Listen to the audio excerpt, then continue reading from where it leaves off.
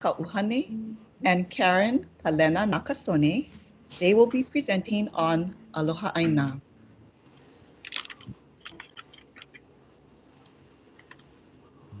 Aloha kakahia. Good morning, everyone. Uh, we are from the Department of Education. We're with the Hawaiian Studies Program the Office of Hawaiian Education.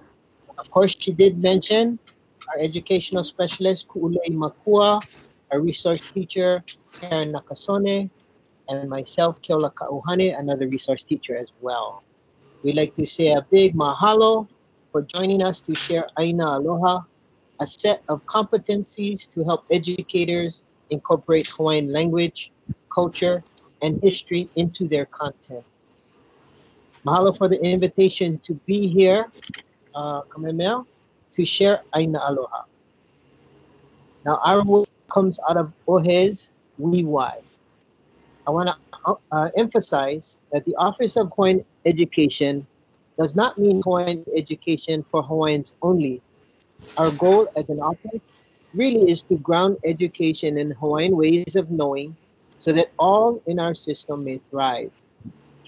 Hawaii is what is common to all of us, so it makes sense to teach through this place, regardless of race, ethnicity, or where one is from. We will be using the chat feature uh, as mentioned earlier this morning, for an Aloha Circle. So using the chat feature, if you could enter three things. First one is your name. The second one is your organization or affiliation you're with. And then the third one is your AINA. Uh, it could be where you come from or uh, where you're at right now or any special place to you. So if you could take uh, some time to enter this into the chat, and also if you'd like to scroll through the chat to see who else is joining us and where they are from. So we'll give you some time to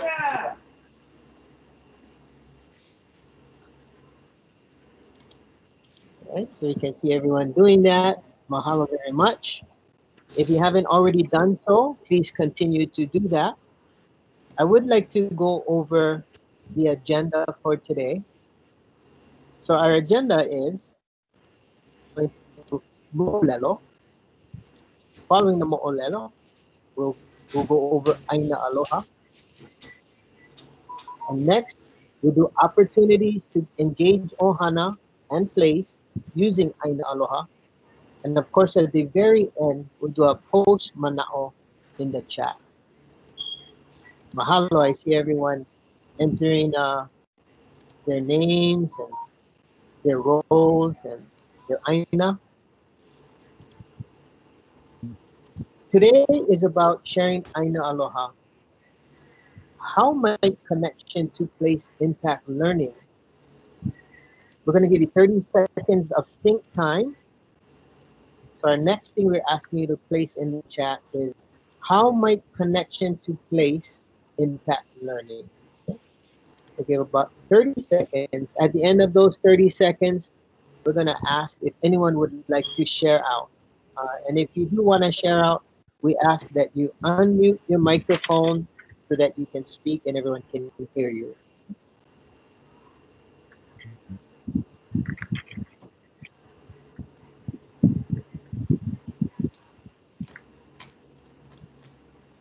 We'll give you 10 more seconds and we'll ask for any volunteers that would like to share at this time.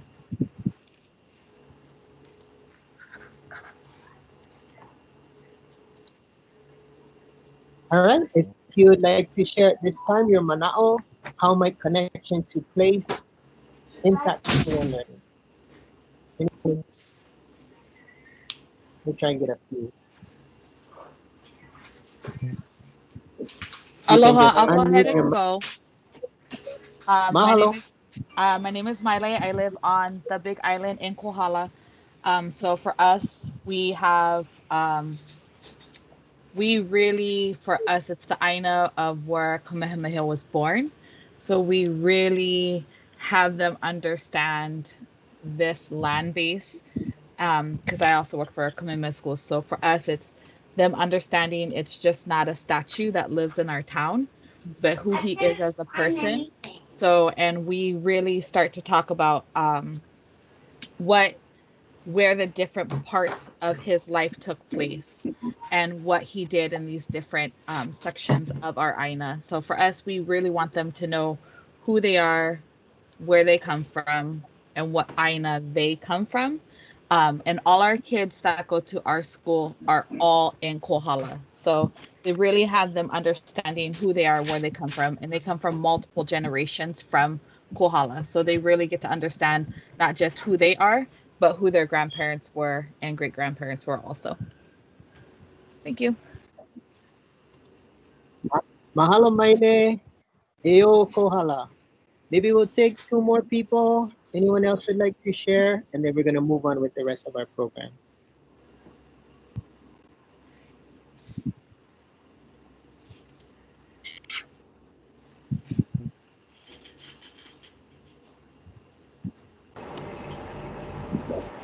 Aloha no, Pahai Kalani. Um, I, I was I wasn't going to speak because you know already Muku Keave, right? Kohala. But anyway, I'm Kalakahe um, Elementary, and for me it's very um, simple because to me simple is easy, and for me it's being present, present, and all that that implies, present. Aloha. Mahalo Pohai. Thank you for sharing. We'll take one last person before we move on. Anyone else would like to share?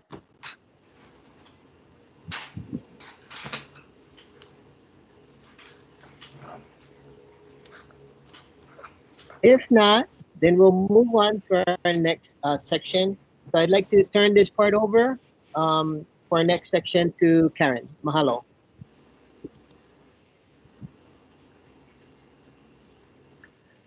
Aloha mai kako. Um, so again, like Keola said, this work comes out of the Department of Education. And um, the, the title of the work that we're sharing is Aina Aloha. And Aina Aloha literally means beloved land. And it's a reminder that A'o and traditional models of education um, is an exchange, just like Ha, breathing. Uh, so we'll be looking at events that have led to um, what we see and experience in our current system and how Aina Aloha um, provides a way to reconnect education to our Hawaii roots. So in traditional models of A'o, um, Hawaii is what connects us all. So learning about and through Hawaii makes sense for us and those uh, and those that we serve, and um, especially our keiki. So if we look back to traditional models of A'o, or teaching and learning, um, to see what we can learn from our kupuna. Um, in Ahupua'a systems, teaching and learning was embedded in one's nohona, or way of living, and in our language and culture. Uh, learning was meaningful and purposeful in order to sustain and provide for the physical, spiritual, and emotional well-being of our communities. And there was no separation between what we lived and what we learned. Um, our kupuna were aina literate. Um, they could read our environment. And um, yeah? Learning was not confined to one source of knowledge or one place of learning. Um, our kupuna had an intimate, personal, deep connection and relationship with Aina. Um, they understood the systems, the cycles, the rhythms, patterns, movements, breathing of our Aina. As we move towards the 1920s, with the arrival of missionaries and the introduction of print or written language, um, our kupuna were able to transfer those literacy skills they mastered um, by reading environments to print. And by 1834, there was a 91 to 95% literacy rate in the Hawaiian Kingdom. Um, in 1840, Kauikeaouli established our public education system with the intention of bridging um, the two worlds. Um, and as we moved through the years, an unintentional impact was disconnected learning. Our learning was no longer connected to community or Aina. So that is partly uh, what this work of Aina Aloha um, is, is to, to re-bridge learning to Ohana and to communities again. Um, from the 18 from 1840 and the establishment of our public education system, there were several events in our history that have caused the uh, intentional and an unintentional disconnect of Hawaiian language and culture we currently experience in some of our education system. We see the overthrow of our Hawaiian kingdom, the banning and punishment of our kupuna for speaking Olelo Hawaii in public and private schools, and the annexation of Hawaii teaching and learning shifts from being part of our nohona and is no longer connected to our language and culture. We see a shift in learning environments, um, moving from learning from and on our aina and in our communities to schoolhouses and within classrooms, again, disconnected from aina. Uh, with the Hawaiian Renaissance of the 1970s, we experienced a resurgence and pride in our language and culture and advocacy that leads to the establishment of programs such as Hawaiian Studies and Kaiapuni in our public education system. So fast forwarding to 2015, the Office of Hawaiian Education is established and we see the beginnings of Aina Aloha. Uh, in 2015, in addition to um, an amended board policy, uh, the, Office of Education is established and Nā Hopena or HA is passed. Um, and in response to the board policy um, and the amendments and the creation of OHE, uh, the Hawaiian Studies program begins the development of Aina Aloha. Um, I briefly mentioned um, Nā Hopena or, Ha and Aina Aloha, so I'm going to hand it over to Ku'ulei, uh, who's going to share the connection between content and context. Mm -hmm. Thank you, Karen. Um, we're super proud to be a part of our Department of Education and super part of the work that the department is doing in terms of integrating Hawaii content and Hawaii context into our system. Um, as Karen said, Aina Aloha is a way for us to think about how do we provide content for our state system that allows us to, contextualize learning to Hawaii and strengthen the sense of outcomes that we see in Nā Hopena A'o or Ha. And while we will not be diving deeper into Nā Hopena A'o or Ha during this particular presentation, our colleague who is the Ha specialist out of the Office of Hawaiian Education is doing an 11 o'clock session on Nā Hopena A'o. And so if you would like to learn more about the work of Nā Hopena A'o, we invite you to attend her session at 11 o'clock today.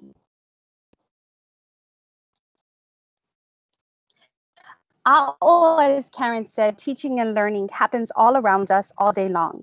We validate the thinking and the application of moving beyond contemporary classroom spaces or four walls back to a design for teaching and learning in multiple learning places and spaces beyond just our schools, including our neighborhoods, our homes, and our community. By designing in this way, we reconnect and reacquaint ourselves to Aina, that which feeds and sustains us, physically, emotionally, and spiritually. In that same way, we reconnect and we rethink about how we think of sources of knowledge or kumu beyond just teachers in our traditional classroom settings. Aina is our best teacher, and if we humble ourselves, empty ourselves, learn, listen, connect, feel, and watch what our environment will teach and share with us, they too are our first sources of knowledge. We don't have to say to this group in this Ohana engagement conference because you all know and validate here that Ohana and caregivers are our first teachers, and they too should be engaged in a part of our students' learning journeys. And so, in this digital age where we find ourselves during this particular time of, of COVID, engaging digitally or virtually to connect in a conference setting like we are today, or with our keiki as they connect to their school settings, we also think about how we leverage technology to connect us and to help us solve real world problems in our community so that we can be better stewards of our islands and be mindful to balance technology so that our students still continue to feel connected to Aina, to others, in ways that strengthen their ha, or their sense of belonging, responsibility, excellence, aloha, total well-being, and Hawaii in multiple learning spaces and from multiple learning sources. And so, as we dive deeper into Aina Aloha, the competency and the tool, I'm going to turn it back over to Karen, who's going to take us through these next couple of slides. Okay, so yeah, as Ku'ulei mentioned, Aina Aloha is, is a tool for, for classroom teachers. Um, but but at the same time it validates and it, its intention again is to reconnect teaching and learning to families and to communities.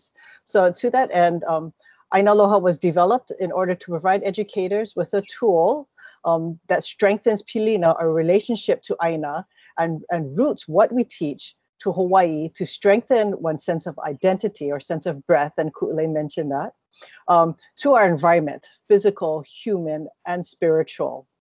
Um, one of the things that we were mindful of in developing Aina Aloha was metaphor and ho'ailona um, from Kupuna. Um, so when we landed on Aina Aloha, ha, ha has a metaphor of breath. Aina Aloha has a metaphor of roots. Aina Aloha helps us recognize that our identities are grounded and shaped by places that raise us, and by rooting our content to Hawaii and contextualizing learning to Hawaii, we strengthen our ha and our ability to be stewards of our island home. Roots and veins serve the function of carrying nutrients and or oxygen to plants or the body. And in the same way, um, A'a serves to revitalize and reconnect all stakeholders to our Aina. It also reminds us of our connectivity and that we sit in generations. So we mahalo our kupuna and remember our kuleana to leave a positive legacy for generations to come. And as you can see in this in the slide there, um, the a'a of, of kalo and that um, and that roots can take place even in the most difficult or um, difficult of places. As you can see in the slide there, there are three main concepts to aloha aina, aina aloha kalamai, uh, kuana ike, honua, and olelo Hawaii. Um, is going to go into those concepts a little more in depth, but under Kuana Ike, we talk about um, ahupua'a, um, wahipana, mahalo and ho'ihi. And under Honua, we talk about pono and kuleana, tu honua. And uh, under Olelo Hawaii, Olelo Hawaii is embedded in, in all three of those concepts and embedded in our nohona. So that was an important concept um, to embed into this framework as well. Um, we also we also put to paper a learning cycle, um, and and each of these kumuhana or these topics are designed around a learning cycle that reminds us that learning is cyclical or spirals, much like the growth of a kukui tree. There's no beginning and end. Hua or seeds become kupu, who turn into liko, then pua, and back to hua, and the cycle repeats itself. We all, as teachers, parents, students, enter this learning cycle at, at different places based on our, on our ohana, our experiences, and our perspectives. That diversity is honored through this learning cycle, which we borrow from the work from Dr. Keiki Kawai'ae'a and her work with Moinaha. Um, I'm going to hand it over back to Ku'ulei now, who's going to talk a little bit about Ohana engagement and Aina Aloha. Mm -hmm. Thank you, Karen. Um, as we find ourselves in unprecedented times, being quarantined with Ohana and re-engaging with our students learning as they learn from home, and we take as Ohana new roles in helping them to get online, maybe even engage with the content to facilitate some of the learning that's happening through their schools. We as educators are planning for different models of delivering instruction and assessment. And we collectively as educators and in partnership with Ohana find ourselves with a great opportunity to ho'i or to return to a connectivity for teaching and learning through our places, through our host culture and language, and as connected to Ike Ohana. Aina Aloha offers us one way to think about leveraging our homes and communities as learning environments, and our, our ohana and the ike of our ohana as kumu or sources of knowledge, just like um, Aina community and ohana. As Karen said, there are three competencies or three concepts attached to Aina Aloha. The first of which is Olelo Hawaii. Um, you can see on pages five and six of Aina Aloha um, that there is the learning cycle for Olelo Hawaii. Um, as Karen mentioned, Olelo Hawaii is cross-cutting. It is embedded throughout all of Aina Aloha, and we cannot talk about Ike or talk about Honua without also including Olelo Hawaii. We also recognize that its usage is highly dependent on the teacher and student readiness and our ohana readiness. At the kupu stage for every one of our competencies, it was important for us to honor that our students come with kupana. They come with ohana and they come with values and they come with an identity that's shaped by their place. And in that way, the kupu stage of every competency begins with honoring who our students are and who our teachers are. And so in Kupu stage oh, of Olelo Hawaii, it is about understanding the significance and importance of language. And in the Hua stage, it's about understanding how Olelo Hawaii shapes one's worldview. Um, because this is a Ohana engagement um, conference, we really looked inward into our Ohana. And so I humbly share my personal family experiences here with you all as examples of how Aina Aloha might show up naturally in what you all are doing as Ohana and the ways that it has showed up in what we're doing as a Ohana Makua, where we live here on Oahu in Waimanalo. Um, you'll see pictures of my three girls, and so I introduced them to you here, Hazel, Bella, and Lily Makua. Um, COVID has really allowed for my ohana to pause, um, to stay home, to be connected with each other through quarantine. Um, and some of the activities that you're seeing are made possible because of the amount of time that we've had to be together as family. Um, I know that I'm not the only one that has family um, family stories to share around how Olelo Hawaii shows up in your homes or in the work that your organization is doing. And so I ask you to share those in the chat as we collectively build our toolkit and continue to see the ways in which Olelo Hawaii shows up in our homes. Um, for us, one of my three girls, it happens to be my baby girl, um, the Muli Loa, Lily Kavehi. Um, she attends an immersion school. And because of her immersion experience and her ability to Olelo Hawaii, uh, her worldview has been shaped by her connection to Hawaiian language. Um, one day, not during quarantine, uh, we were driving out. We live on the east side, as I said, and we were driving out to um, side here on Oahu to attend uh, a baby shower for my brother. Um, and as we're riding in the car, it begins raining, and she asks me the name of the rain. So we engage in a dialogue around, you know, what are the characteristics of rain and why do rains have different names? And in that way, she becomes the teacher for my older two daughters, and she gets to be the leader of that conversation.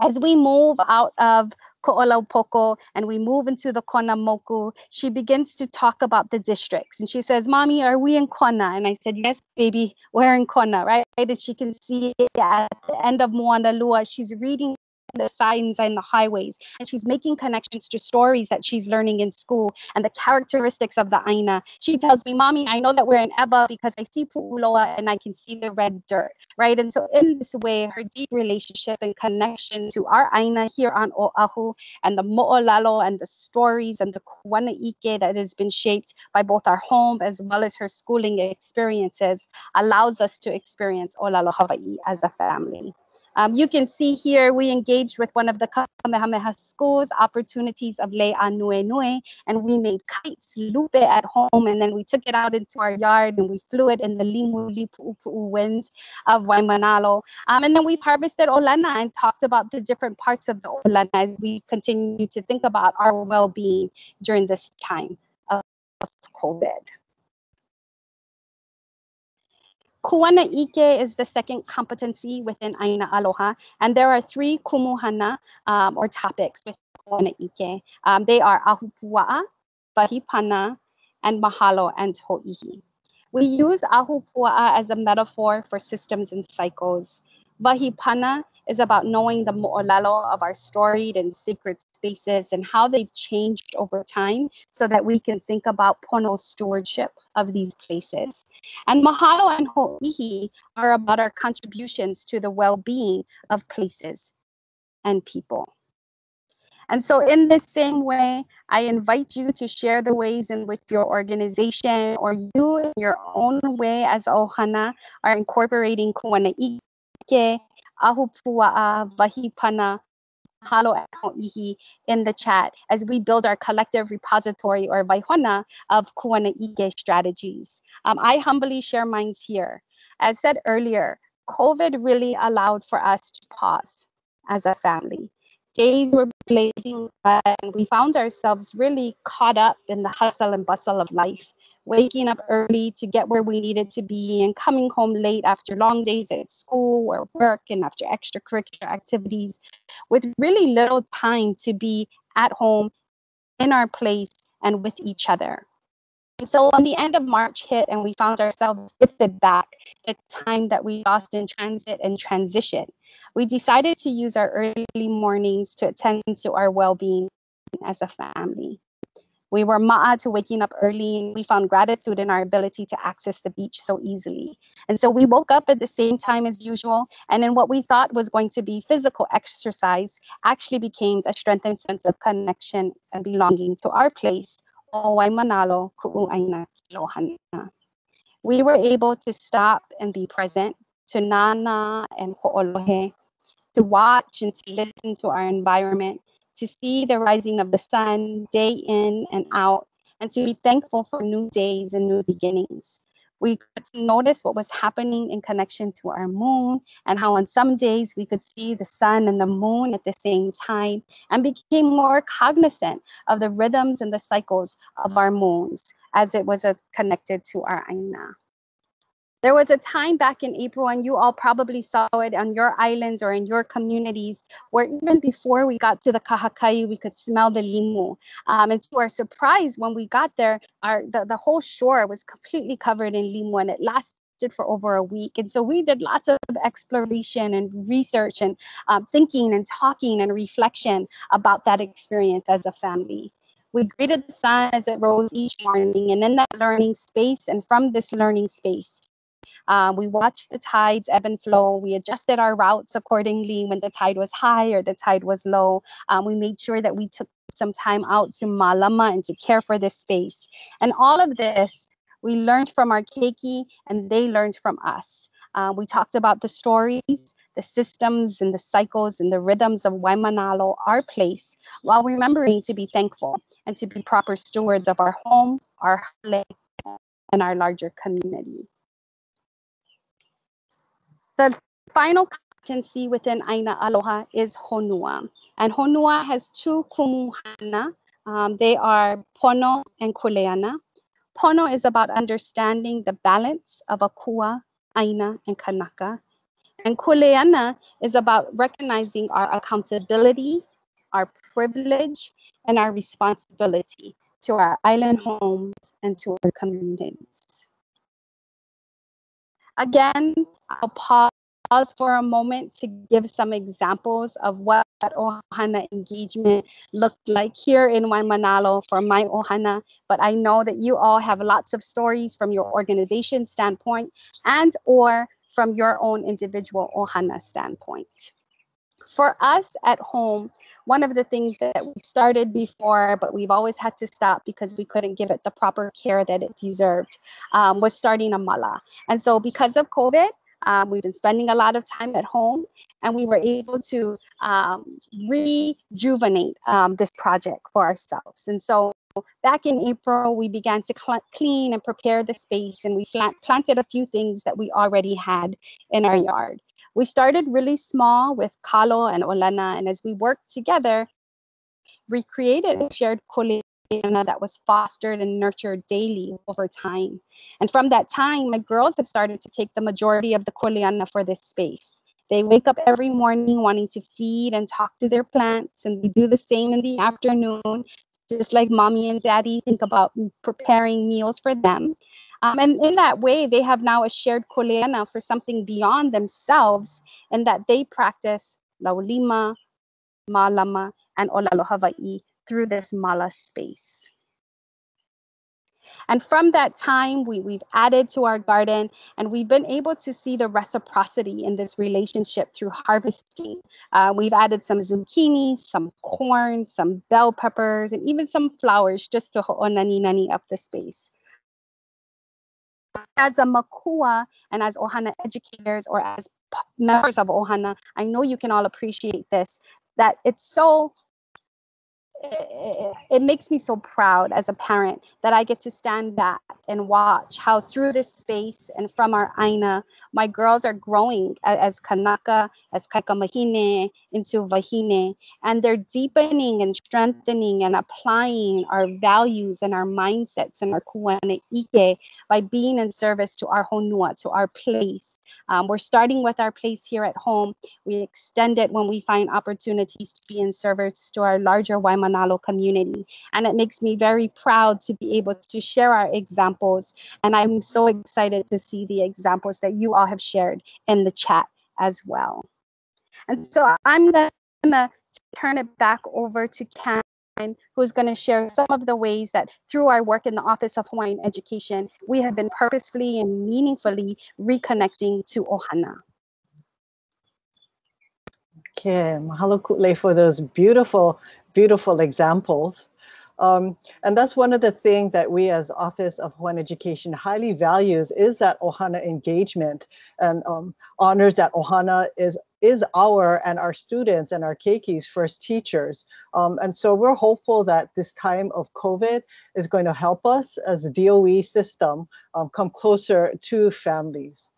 Uh, one example of how we've partnered to give Ohana access to Aina Aloha um, beyond just what our teachers are doing is through a new collaboration we have with Nā Pua No'eau. Uh, Nā Pua No'eau is a branch uh, or sits under um, Native Hawaiian Student Services in the university system, and they've created this program called Mo'olelo and a Lullaby. Um, in this Mo'olelo and a Lullaby, a reader um, reads a story, a Hawaiian story, and um, it is accompanied by um, a mele, sometimes mele, sometimes hula. And the first one they had mele and hula, and the keiki get to engage in the mele and the hula, uh, which is based on the puke or the or the book that was the story that was read. Um, our next one is going to come up on uh, on September 28th. There are 200 slots that that we were able to create open up for DOE and Nā Pua already had two, two, already had 75 slots set up, so there are 275 spaces.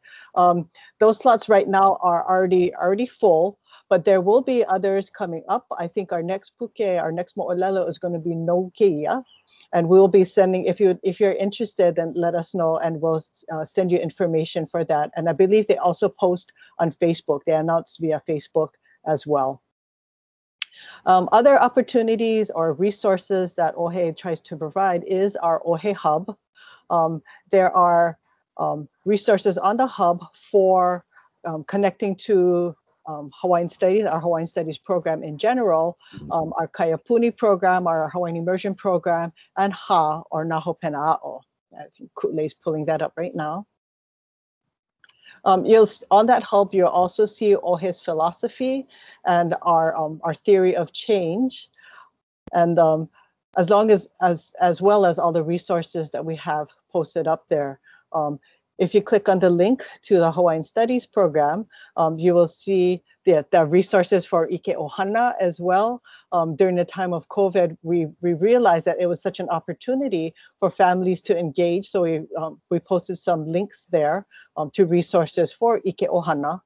And if you look at our Hawaiian Studies resource matrix, um, those of you who are wishing to strengthen your Olelo Hawaii, we have resources for Olelo Hawaii and also connections to um, community other community resources out there that you can reach out to and engage with. I know there are several community organizations who are offering virtual huaka'i, um, so you can check them out as well. And so we can take our keiki back out on Aina, even if we cannot physically be back on Aina. And there you see the, the link for Hawaiian Studies, Ulukau, um, Hawaii, Olelo Hawaii resources, and also there are links um, for resources um, if you wish if you wish to contact OHE um, directly and get specific resources. Um, those links are there as well. their recordings. Oh, those those um, Leo Hawaii recordings are amazing. Um, recordings of kupuna um, from the early 1900s um, all the way up to all the way up to current. You can hear Manaleo speaking on those recordings.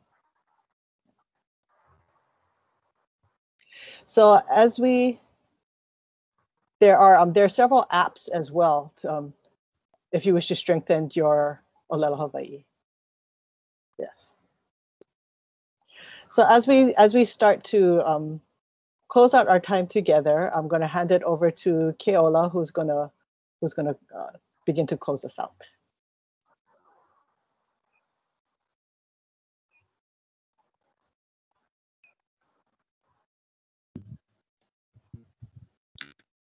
Aloha. Uh, thank you, Kalena. Uh, so if you have any questions um, and you'd like to stick around, it looks like we're ending a little bit early. Uh, so you can stick around to ask any questions or if you want to just make uh, connections. Um, we also wanted to share resources. So as Kalena had mentioned, we do have the main OHE Hub landing page. Uh, it was also posted, uh, you see it in, in your screen. It was also posted in the chat. Uh, so you could go there uh, as one of our resources that we offer. Another one is our Hawaiian Studies Matrix as well. So you can see that as well on your screen um, as two possible resources. Um, what we'd like for you to do uh, at this time is to please post in the chat uh, one word mana'o on what is resonating with you. So after listening to our presentation, if you could uh, present one word uh, mana'o or thought on what is resonating with you. All right. And uh, we'll leave that open uh, if you could do that. Um, and I would like to now uh, give it back to Ku'ulei to um, do our finishing uh, section for you. Mahalo, y'all. Yeah. Yeah. So please continue to post in the chat what's resonating with you, uh, ways in which you might like to connect with us or stay connected with us as the Office of Hawaiian Education and Hawaiian Studies Programming.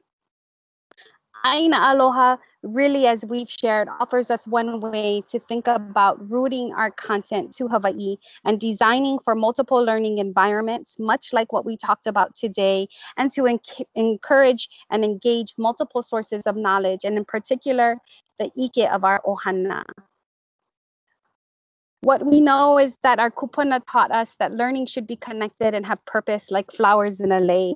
And as as we think about this time think about the ohana we engage or the ohana we are part of as educators, we designing for learning that is connected to Hawaii, our place, and contextualized by our island home. And so we mahalo you for being a part of our Aina Aloha. We have some minutes time for a question and answer. Um, if you would like to get in touch with any here is our email and our contact information. Um, and if there questions that might have been posted in the chat, um, I'll invite our, our facilitators or our co-facilitators, of um, Luana and Missy, to help us guide us through a question and answer.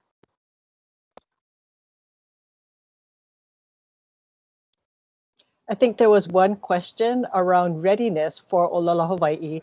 And really our thinking behind that Olelo Hawaii strand was everybody comes with some Olelo Hawaii, even if it's just a place names, um, names of our streets, names of our wahi, names of our places. Everybody comes with aloha, mahalo. Everyone comes with some Olelo Hawaii. So the thinking was to just strengthen what you already have. And as a teacher, you teach what you don't know, what you don't know.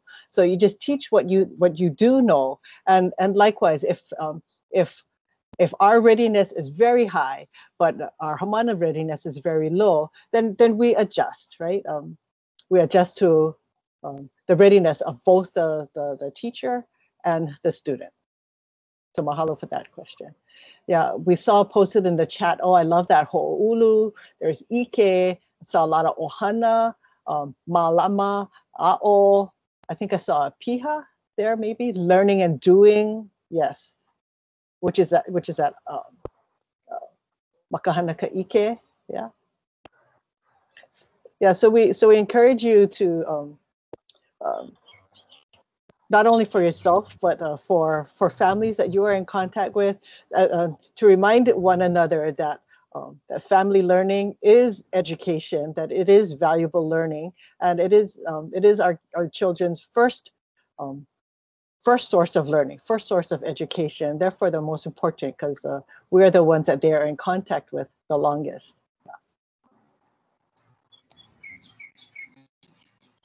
Okay. Oh, mahalo nui for sharing